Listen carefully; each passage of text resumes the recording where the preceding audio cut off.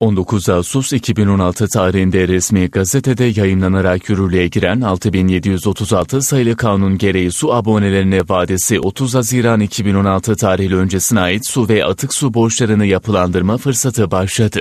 Bu imkandan faydalanmak isteyen vatandaşlarsa Muski abone ofislerine akın etti.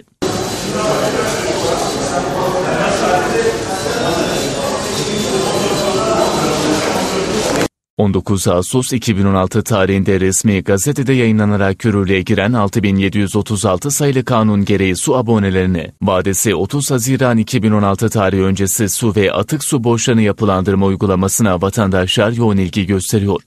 Bu imkanlardan yararlanmak isteyen vatandaşlar Muski abone işleri ofislerine akın ediyor.